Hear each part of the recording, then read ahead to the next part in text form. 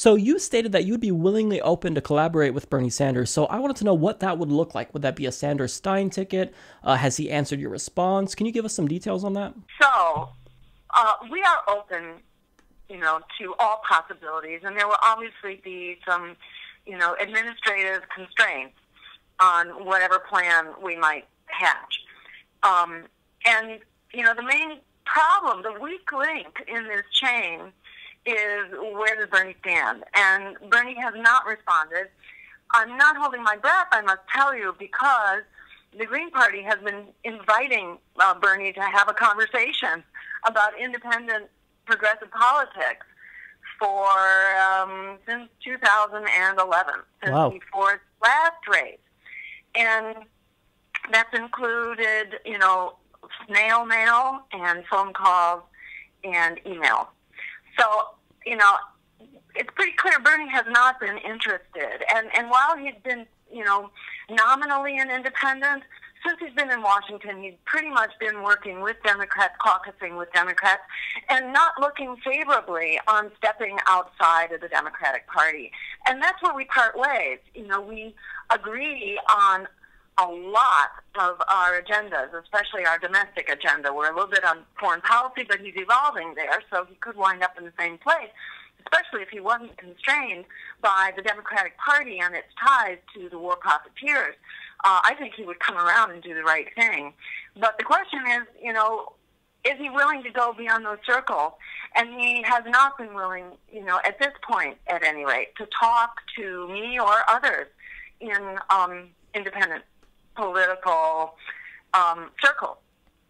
So, you know, fingers crossed, maybe this is a big, uh, you know, um, uh, a, a wake up moment uh, for him, given how incredibly, um, you know, uh, unethical and uh, unacceptable the behavior of the Democratic Party has been towards his campaign and its efforts to sabotage him and unfortunately, this didn't start with Bernie.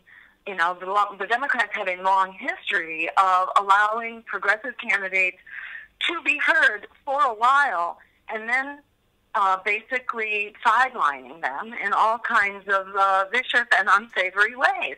So Dennis Kucinich, for example, had a very principled campaign, but the Democrats redistricted him and got him out of the way in that way. You may remember Howard Dean who uh, at the time was a progressive. I'm not sure he is now. but at the time he was a progressive and he was a peace candidate. And the Democrats went after him with a public relations smear campaign, the so-called Dean Scream, which took just a moment of enthusiasm and made him look like a madman and splattered it all over the airwaves and brought him down in the polls and basically knocked him out.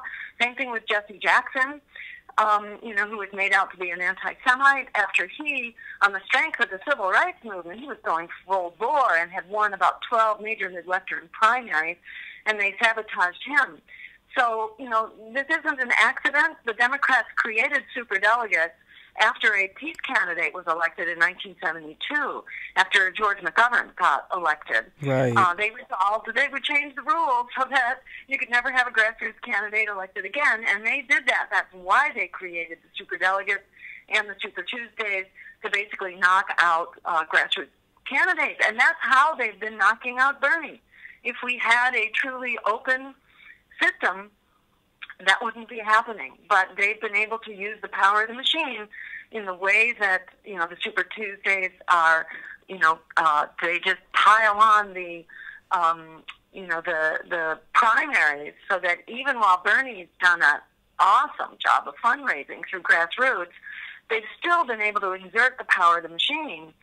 Um, just you know, using the old boy and old girl, I guess, networks um, to rally support for Hillary beyond you know beyond anything Bernie could do with his uh, fundraising. You know, and, and if we had primaries one at a time, that wouldn't be the case. You could really have a campaign go in and meet the people and um, you know and really make the case. But that doesn't happen in the current system. So we'll see if this is a wake up time for Bernie. But uh, you know, from the way it's looking, I'm not so optimistic because it looks like a major effort is being made to kind of corral people back into the Democratic Party. And I think it's a really important time for people who are not, you know, good little boys and girls and who are not into the ethic of just taking the marching orders from the uh, Democratic machine to really think twice before just kind of abandoning all the work that um, you've done inside this, you know, revolutionary campaign. It may turn out that the revolutionary campaign, you know, cannot, you know, live inside of a counter-revolutionary party, which the Democrats have been for a long, long, long time. Um, Right. And really important for people, I think, to think outside the box and keep the heat on and see if we can get Bernie to move outside the box. But if we can't, you know, I think uh, we got to keep moving forward, you know, because Democratic Party, you know, is not going to do it for us